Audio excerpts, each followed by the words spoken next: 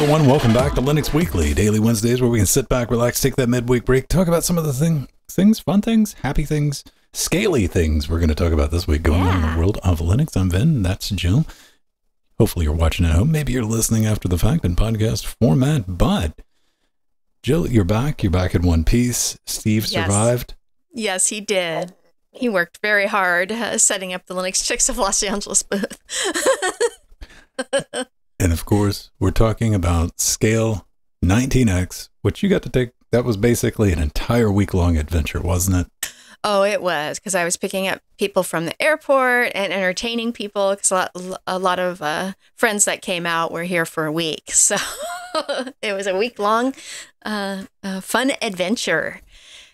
And uh, yeah, so many awesome things. I'm, I'm a little overwhelmed because so many awesome things happened at scale, and I can't possibly talk about it all right now. so I don't know, man. You tell that to the show note intro.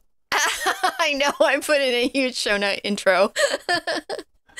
so yeah, uh, one of the cool things is that my Linux Chicks LA booth won the Best Scale Spirit Award, and we actually win an award every scale, but this is it's always special every year to get one.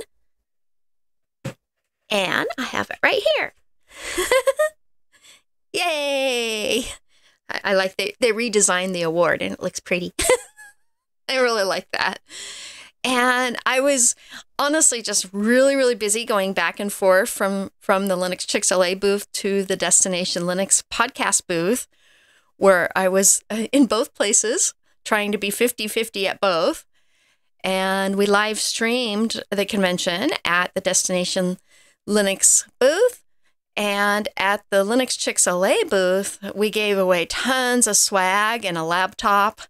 And yeah, as I've been cleaning out my computer room, I we uh, uh, had people spin the wheel of swag. It's a, a wheel you can spin, and depending on where it lands, you win an award.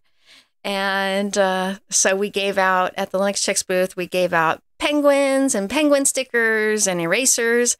And then the good items were uh, actually mechanical keyboards, mice, and Bluetooth speakers and headphones. So it was uh, stuff that I had from cleaning out my uh, Jill's Computer Hardware Museum. there was so much. And we raffled off a laptop too. And uh, that was awesome because it went to a dear friend of ours who happens to work in education. So it worked out perfect. Oh, that's nice. Yeah.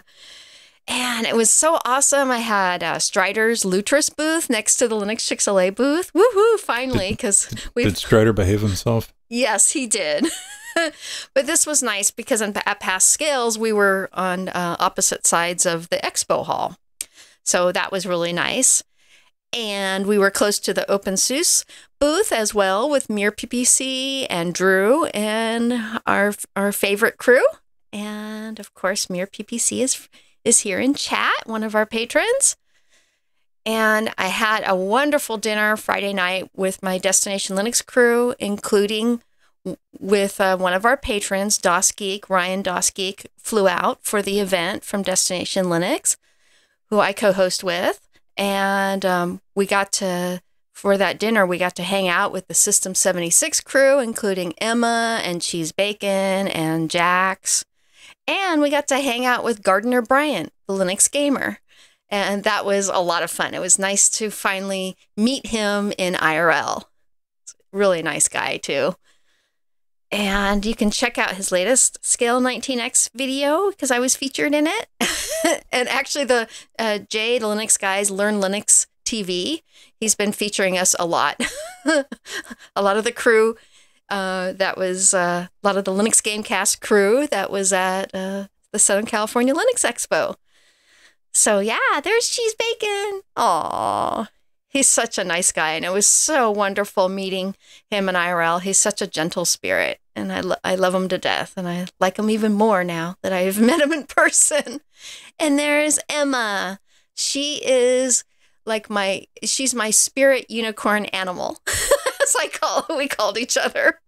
And there's my Linux Chicks LA booth. And that's me and Betty and Sharon and Nicole. And we worked hard winning that award. Ah, unfortunately, that picture Steve Husband isn't in, but he was there to receive the award as well. And that is me with Monica Ayhens-Madon, who I uh, had met for the first time in IRL as well at scale. And she is one of our patrons in chat and the Ubuntu community representative at Canonical. And it was so wonderful also meeting her because I had met her on the Big Daddy Linux podcast years ago. So we've been good friends ever since. Wonderful. I'm glad everybody had a good time. Yeah. I really am. Uh, yeah, even though it was a smaller scale this year because of Yeah. the, you know, the pandemic and and um, the surge in COVID, it was a bit smaller, like by a third, but it was still a wonderful event, and it was just nice to be back with my scale family again. It really That's one of the things we were talking about in the pre-show, and you know, it kind of worked out though because you knew you, especially if you take some time off and you're coming back, and even at a third, but it was at a smaller convention, so it didn't feel. Yeah, it didn't feel smaller. No, because we, we did move back to the LAX Hilton, where Scale had been for many years before we had Mhm. moved to the the Pasadena Convention Center. And it is a much smaller venue, but it didn't feel smaller because all the halls were busy and and uh, all the uh, talks were busy. So, oh, and uh, one of the highlights was uh, seeing Vint Cerf, uh, one of the fathers of the of the internet, actually one of the inventors of TCP/IP, and he was the final keynote on Sunday, and he was amazing. So, so what you're saying is you might go back to the next one. Oh yeah, yes, absolutely. I am uh, working two booze now. Pretty strong, maybe. yeah, pretty strong, maybe. So- absolutely. I've been playing around with a bunch of things. If you tuned in Saturday and you didn't get a chance uh, to watch the show, then what were you doing tuning in? Uh, we were visited by Dennis Payne. Yeah. He came and hung out with us for about 30 minutes. Tell us about his. Uh, come on, let me get Dennis. in- There's dead ass.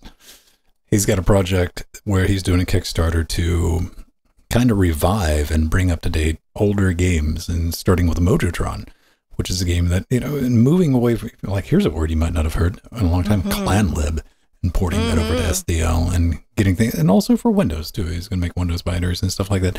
But he did tell us about what it's like being an open source game developer, and he has worked on commercial projects.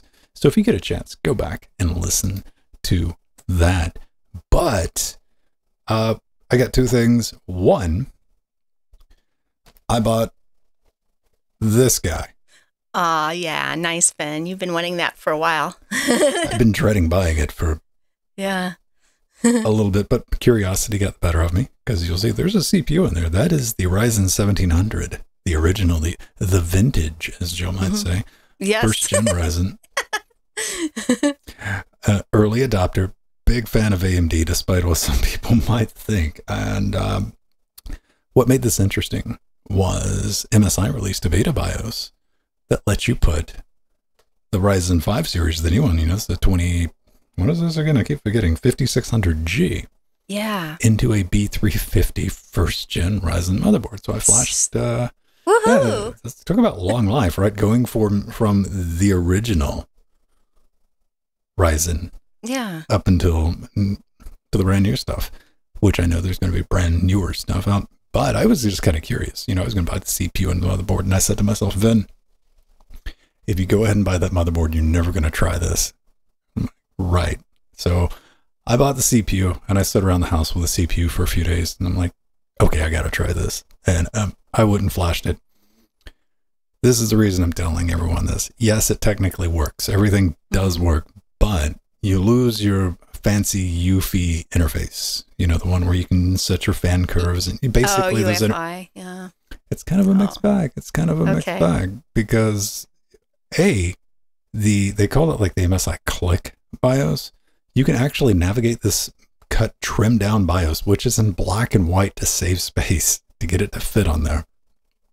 You can navigate it with keyboard like you could the old BIOSes, like the American Megatrend BIOS. You remember those? You never Mhm. they didn't have mouse support. Yep. It looked like an ncurses interface, which Yeah. I think is like, give me more of that. But the downside is that being a beta BIOS, you can't set fan curves or anything like that. You have the Oh, option okay. of like on or predefined fan curve, which is like, ah, so I'm going to have to get the motherboard anyway. mainly because I don't have an option to overclock or underclock the CPU, Mm. which is something I want to do. I want to underclock it and dial it back as much as possible. So I don't know if you want to play around with it. If you were curious, and like, yes, you can. It's running right now. It's in Jackbox. It's doing everything it's supposed to do. I mean, it's pegged at 4.4 gigajoules, just running. And I threw one of these on the radiator. This is the most expensive fan I've ever bought. I still haven't gotten over it. I'll probably bring this up three or four more times in the upcoming months. Uh, this is that $30 Noctua fan, the one with all the blades on it. It works. I don't know if it works for $30 worth of fan, but it's on there. Um, it's I don't hear it. I've, I've been playing around with the Jackbox. I got. Uh, I am trying to make things quieter in here because I want to uh, start using a ribbon mic. I got my test ribbon mic out right now, but I got to like lower the noise floor. That you can't really get away. Ribbon mics are technically dynamic mics. Like you know, a condenser mm-hmm. mic's going to pick up anything. You know, you put 50 dB of gain into a condenser mic, you can go outside your room and talk, and it'll pick it up. They're good room mics. Dynamic mics like the one Jill has, or my RE27ND, those work on a voice engine, you know, so it's actually sound pressure moving coils inside to do that. This is just, it, it's a ribbon, and I'm terrified of ribbons anyway because I can break them, and I have broken them in the yeah. past. Um, so I'm really far air gapped from this thing. Uh, anyway, back to that original story. I, I said this in the pre the pre show. I put an intake fan on uh, one of my spare Noctua fans, my 140s, and it was great. I was going to cut it up, make it nice and airflowy. Come to find out, like the cut-ins for 120 millimeter fans that were kind of overlapping the fan when I put it on. Mhm. Once I got up to about 1200 RPMs, created a whistling noise, Joe. Oh no. Yeah. The fan was perfectly silent, but uh, you were hearing like that. oh. Like, man, talk about defeated and can't do anything about it. I just left it in there. I dialed it back and said, we're just going to call it a day. So that's all I, oh, the RM, the RME AIO Pro video is up. It's in Discord right now. I'll post that on uh, Patreon for patrons uh, this afternoon when I go to post this show. So if you've been curious about one of the biggest and baddest audio interfaces that has actual Linux support, like good, not like we reverse engineered RME provided the source code for the drivers to the developer like they've been doing for 22 years. And it is up and running doing the show right now. So if you're interested in that, go check it out. It is expensive. I kind of go over that. I'm going to try to sell you on it's a value, it's a bargain. But it Oh. just kind of depends on what you're looking for. Joe, let's get into it. I had an adventure with OBS Your OBS Studio adventure. man, I I like OBS. We use OBS for the show. I'm a pretty big champion of it, but I'm also a detractor of it because I do not have it in me to blindly champion something. I think if you love something, it is your responsibility to point out the flaws as well as the positives. And OBS 28, this is a big one. A Bunch of things are changing. I know this is going to make some people sad. No more 32 bit support. That's gone. That's gone. You just got to let it go. yeah. And um, but they've done some good things for Linux. They've switched from G- GLX to EGL rendering, which is going to be smoother experience, especially when you're dealing with you know newer window managers or Wayland anything like that. Unfortunately for me, this means that it no longer remembers any of my sources, so I have to reset things like the Discord capture and the browser capture, unless I happen to have them open before I start OBS. That's kind of a weird one. a couple of bonus things for Linux. H.264 format is now supported in V4L2 for webcams, Mhm. which is Nice. nice. That is there. Another thing that's going to break all kind of things, which is why I want people to get out and test it, is they've moved from Qt5 to Qt6. And I've already ran into one of our primary plugins. The live closed captioning system does not work with that at all, not even a little bit. But Oh boy. instead of getting angry and um, writing nasty things in the OBS Discord or anything crazy like that, what it did is I went to the plugin developer, opened an issue request. I'm like, hey, OBS 28 is out. They're moving to Qt6. This doesn't work. And if you go right now, you can download the new version, which is available for testing, which has been worked for Qt6. So that I'm looking forward to. Another thing though, WebSockets. You might not even know what a WebSocket is, and you know you're probably living a better life than me. I do know what WebSockets are. WebSockets allows you to control OBS remotely over TCP/IP or locally, however you want to do it. You could control it over the internet. I could effectively give Jill a Stream Deck, not a Steam Deck, with my buttons on it and mirror it, and she could switch the show from LA if she wanted to over the so internet. So awesome. Yeah. I I don't use the internet for it, but I use my intranet with a Raspberry Pi. Well, they moved WebSockets to version 5.0 and they built it into OBS so you don't have to get the plugin anymore. But it's also version 5, which is not backwards compatible. Oh, okay. So it doesn't work with my Bitfocus companion and all the uh, server I have set up with that. So I went to the OBS guy who did the OBS module for Bitfocus companion and I said, hey man, and there's currently a beta version out for testing. So if you want to try that, outside of that, um, yeah, you can build it on Debian 11, which I know. I know it's an ancient, decrepit operating system that still works with EAC. Um, if you got to play with that earlier this week, did you hear about that, Joe?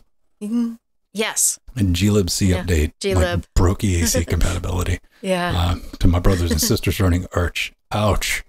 Um, yeah, you can build it on Debian 11. Just enable the Debian backports where you can get a hold of Qt6 and everything builds. So, yeah, you got any thoughts on it? I mean, you like uh, the U yeah. the UI. Every time we talk about the UI, ah, I love I everybody who works on the OBS project. But every time I see uh, somebody like suggest something like we're very concerned about, it's like this is this is developer UI, isn't it, Jill? Yeah. Well, I think it's nice that they added the ability to reset the whole user interface using the view menu, a reset UI option. This is awesome because there's many times where I've done like major customizations on in OBS and I want to reset them, but then you have to Mhm. go back and manually reset all your windows and everything. And this just allows you to reset back to default. So much nicer. So I was really happy they included that option. And they also added support for custom FFmpeg options in media sources, which is really wonderful. So you have the power of FFmpeg uh, directly in OBS, which was always there, but now it, it more easy access. Indeed. I mean, there, there's a gang of like little features and then things like that. You do have out uh, even an option if you want to play around with it. I think the HEVC is built into 28 by default now too. Mm, But nice. again, uh, go test it. I don't know. You know, if you're somebody building OBS is really simple. It's really simple. It's even a type of project that I would recommend if you said, Venn, I don't want to compile anything. And I understand. I posted a thing in our Discord last night of somebody compiling. Um, it was the Overgrowth developers. You know, the hippity Mm. hippity hop rabbit game yeah. that they open sourced. Um, yeah. they're like, yeah, this is how you build overgrowth from source, and they showed it on Windows, and I'm like, no, no, that that that is jarring to see how it you have to com- just doing it on Windows and Uh, compiling anything on Windows is a hard Just- headache. getting it together and getting the Git repo and a, a GUI for CMake and do. I'm like, well, that takes 20 minutes. That is three lines, man, on the console. Um, so that was kind of tragic. So I could understand if that is what you're thinking about, especially if you're moving over to Linux. Like, I don't want to go through that. It's not that bad, anywhere near Yeah. that bad. It is kind of fun and kind of good. Speaking of kernels, though, 519 is out, and I just upgraded to 518 because uh, we got a 518 kernel support for the drivers for this RME thingy. Yay! Oh, that's good, Ben.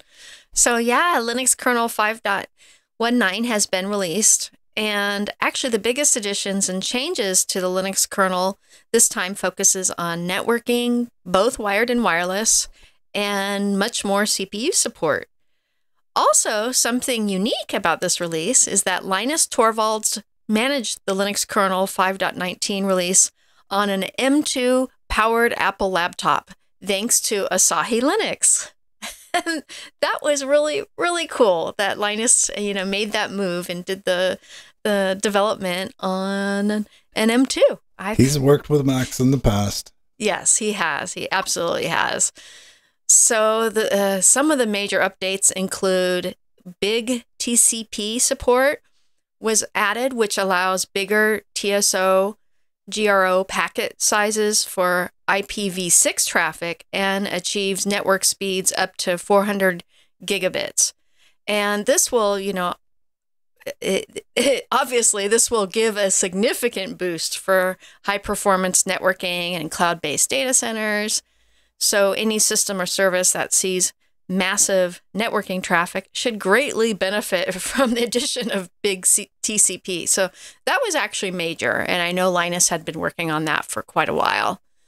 And there's support for the Realtek 8852CE chipset, as well as the MediaTek T700 modems and Renesas RZ V2M. So, you know, very important um, hardware and chipsets that are being supported. And there's initial support for the Lung Arch CPUs based on MIPS architecture. And at, as we talked about in June with the release of the Linux kernel 5.19, release candidate 1, the 5.19 Linux kernel comes with support for multiple ARM platforms. And this is very, very, very important. Torvalds stated, it's something I've been, a, been awaiting for a long time. And it's finally reality thanks to the Asahi Linux team. We've had ARM64 hardware around running Linux for a long time, but none of it has really been usable as a development platform until now. So, yeah, that that is awesome. I think he's happy. I mean, doing the development on an M1, which is kind of neat because, hey, mm-hmm. I've already said, you know, personally, I want to play with the hardware. I just don't want to pay that Apple price. Yeah. You know, and it, it hits double hard when you're, because part of the Apple price is getting that Apple ecosystem. Like step one, wipe that away. Yeah. Um, yeah, I'm glad he's there. I'm glad he's doing that. And uh, I, I really wish uh, Asahi had like a different name, like Maple. Yeah. Maple. That works in in uh, in many ways. and, I mean, I'm ripping off the Simpsons with that, of course, but yeah. it would it, it would still work. But yeah, five five nineteens get a bunch. I hope five twenty is going to be an LTE like long term support. If five since five nineteen is not, I just want something that is not mainline that I can you know just slap on Jackbox and just let it ride it out. Yeah. So yeah, good times, mm-hmm. good times. And if you're still running something like five, well, yeah, five fifteen or before, anything before 516, do yourself a favor, especially if you got audio, USB audio interfaces. It is a night and day dramatic difference in latency reduction. Like we're talking, I had to go back and double check my benchmarks from wow. Like, I thought something was wrong, but it was right, which is good, which is neat. Let's talk about moonrays. Mm-hmm. M O O N. That spells. Don't ever go back and rewatch that TV series it doesn't it doesn't hold up. I wanted it to, but DreamWorks, right? Yeah. And that, awesome. Moonray is DreamWorks now open source award winning state of the art MCRT renderer. And it's been used for a lot of stuff. How to Train Your Dragon, Trolls World Tour, The Bad Guys, uh, mm-hmm. Puss in Boots, Last Wish, and plenty of future titles. Yeah, they're just going to release it, man. Um, this is wonderful news. DreamWorks really, has really. always been like a huge advocate for open source. I've, I've went Absolutely. back and like watched a couple of their talks from way yeah. back when, and they haven't done one recently, but they are currently preparing the packages for public release, and they expect Moonray to be available on GitHub soon. Which I'm like, all right, this is gonna be a GitHub. You can do it. And if you're wondering, my first thought was like, how do we use this with Blender? Uh, Hydra. Yeah, Hydra, um, and actually Hydra is a, a Pixar's engine, so um, of of bringing in uh, scene files from uh, the different platforms, and Hydra was also is it, Pixar had open sourced that years ago, and that was used to create the movies uh, uh, uh Finding Nemo and Finding Dory, because they they needed uh, uh, you they needed a, a special way to do their underwater scenes. Mm. So they used Hydra with that and made that open source. And I had heard SIGGRAPH at at the SIGGRAPH convention. Pixar had done a talk years ago about open sourcing Hydra, and and they did. So now the whole community is benefiting, including DreamWorks. And DreamWorks themselves have created lots of open source plugins and codecs over the years. I've I've known some of the uh, developers that work for DreamWorks, and it's it's amazing what they're doing with open source. They've Really uh, awesome. got a And good track record with it, and it's a Yeah. good thing to have.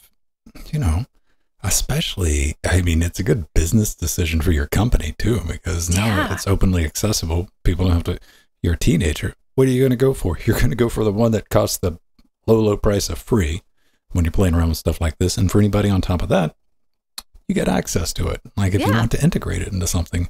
Now, I couldn't find exactly what it's going to be released under. Hopefully, you know, some version of the GPL or maybe an MIT license, but I heard Apache, but I'm, I'm Apache? don't correct me on that. But I I had heard a rumor of Apache.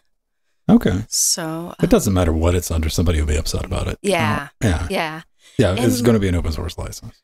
I'm looking forward to trying out Moonray because honestly, for years, actually, for when I was an independent um, computer animation contractor and for my students at um, at the college I teach at, uh, I've been using Pixar's RenderMan.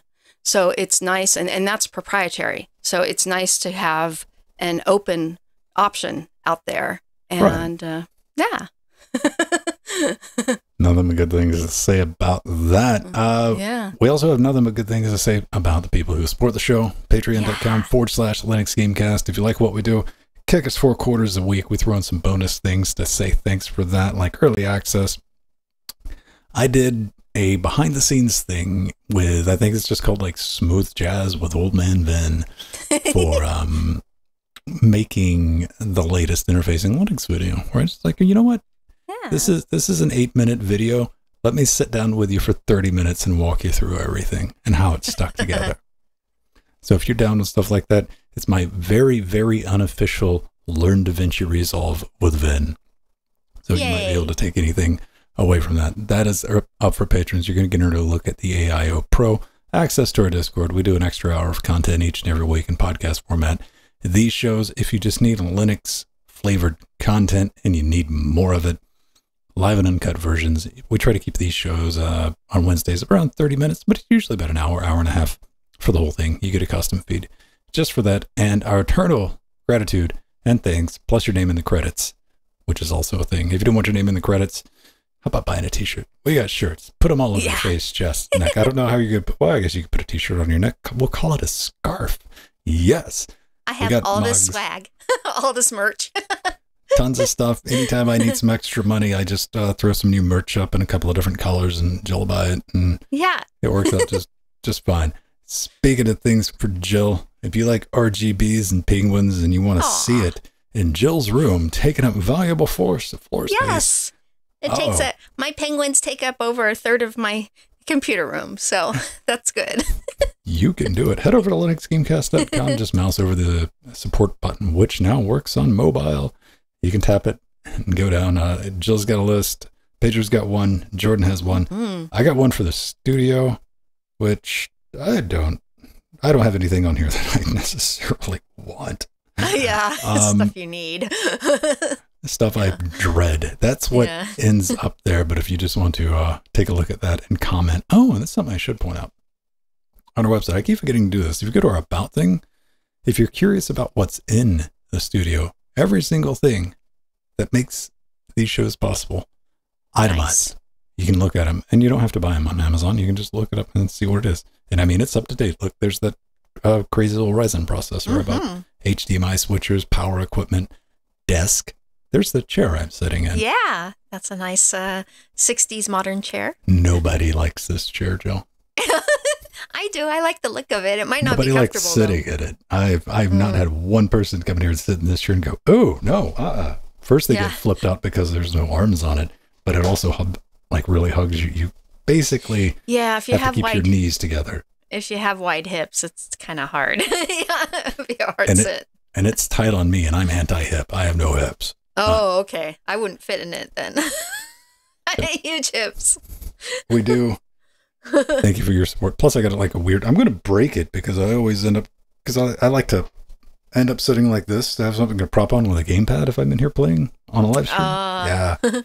Yeah. Yeah, yeah, yeah. but we do thank you for your support. Anything for the studio, we'll put your uh, name back here on the Blankatron board 9000 as a way to de- demonstrate to the rest of uh, the human population that you were fiscally responsible, and we thank you for it. Now, we need to talk about Network Pie. Hmm. Ooh. Oh, that's a good picture, Venn. that's a, an Ethernet cable cable wrapped around a beautiful looking cake. Block of sugar. Yeah. Yeah. it's a mini one though. It's it's a Steve Husband quality model. Maybe, maybe, maybe it's a comically large ether noodle. Oh, that's true. That's true, but probably the other way around. The reason we're bringing this up is because of this guy, a Raspberry Pi router board, which requires a CM4 module, but it's got two full speed gigabit network ports. It says it has Wi Fi, but we have our debates, and it works with Open WRT. So, yeah, this is effectively a hat. I guess you call it a head with a CM4. If I'm Yeah. wrong, leave a note in the comments. But yeah, it's- got two gigabit Ethernet, and uh, we went looking in the um, pre-show for like where's where's the Wi-Fi?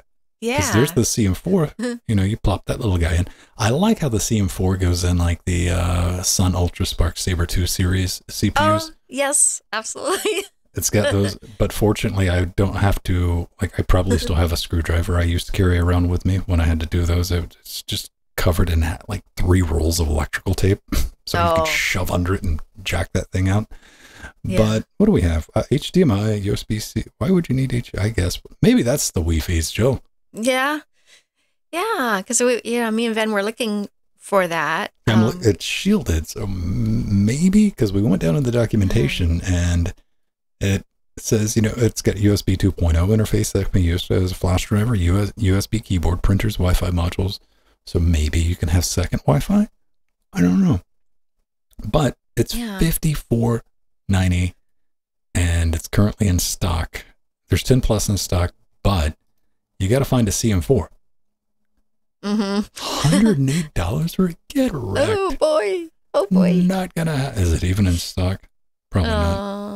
Uh, but on back order. Um, I don't like the. We, we've not. Nature is not fully healed. Is Yeah. all I can say about that. And uh, I I like the idea of this, but I don't think anybody's expecting too much. What I was curious about. OpenWRT, can it actually route at Hmm. a gigabit or anywhere near a gigabit with you know a couple of IP rules set on it?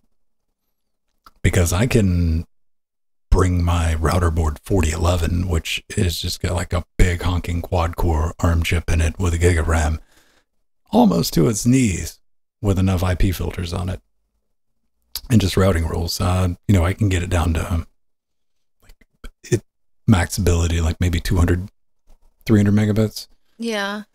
So Okay.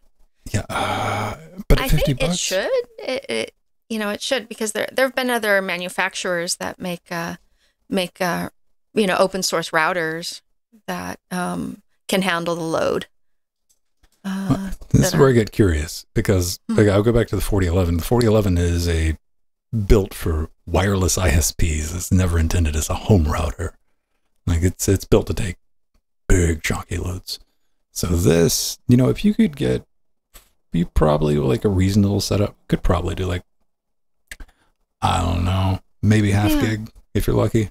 I don't know. I want to play with it. And I see uh, Mr. Alert points out that some of the CM4 modules have built-in have Wi-Fi. Wi-Fi. Yeah, yeah, that's Hmm. true. I was thank you, Alan, for putting that in because I was I was thinking about that as we were talking about this. I, I thought there was one that had a Wi-Fi support, but um, my my concern was that where do you put an- antennas, Wi-Fi antennas? So Oh, come on. The kids But- don't use antennas these days, Joe. yeah, I mean you could get USB external USB ones and yeah, so that you can transmit your Wi-Fi signal further. Now that being said, the Raspberry Pi boards have gotten really really good at Wi-Fi. The Wi-Fi chip in there is uh, uh, generally very strong and the last few iterations of the Raspberry Pi they transmit very well So, and but this will be a really nice, honestly, a nice option when they start ramping up production of the CM4s and you could get them at a lot cheaper prices. This will be a cost effective way of making, you know, say two to four routers for the cost of a, one good name brand one. Or on the something for the like just around the house. Like the CM4's got to get back Yeah. down to that like thirty to fifty dollar price point before. Yeah, Yeah, that's true. they're on unobtainium currently. And I, I could say something like this is uh, is more of a play around device. I wouldn't put you know twenty users on this, Yeah, yeah. but Home- like home a small or like you know a bridge, you could set it Mhm. up to do something like that, or a NAS, and um, Perfect for a NAS. Yeah, it's there, slow power. So, but you know, don't do yourself any favors. Don't go ahead and order it until you can get a CM4. There's nothing, nothing worse than having half of a thing Yeah. where you're just sitting around going, um, I can't do anything with this yet. Ah, you get it. oh man. Uh, yeah, I'm kind of unfamiliar with the Wi-Fi capabilities of Raspberry 4 because it's usually Wi-Fi kills almost like it's in the top five things I do when I start one up. yeah. Just a habit. I did test it out on that um, Raspberry Pi Zero Two or Okay. the latest W. No, no, yeah, the W, the latest W. Uh, just out of curiosity. I mean, it does work. So there is that. All right. Yeah. Um, yeah, somebody go buy one and make pretend. You can make a little uh, cardboard compute module and put on top of it and cosplay as a router. It'll be brilliant. Yeah. Yeah. All right, everyone. Uh, we've run actually a little long, but thanks for hanging out with us. And uh, we got some We got credit. lots of uh, patrons to thank. All right, fine. We'll do that Yeah. instead. Oh. Did I make Venn lose track? oh no. Is Jill still saying something? I had her muted. Ah, our advisors, Omegas and Artherin, thank you. Executive producers, Barbrandt, Scott M, Atomic, Mike G, Empty, Chicago, patrons, Abstraction, Sea Monsters, plenty of sea monsters. David Darkweed, System T Nubbin. Truggles. hey, look, there's cheesy bacon. Yeah, Cheesy Bacon's in Doja. there. Good luck. And, and DasGeek is in there. And Sacred uh, Egg Monica's in there. I forgot to put them in. New patrons. Oh yeah, we have new patrons.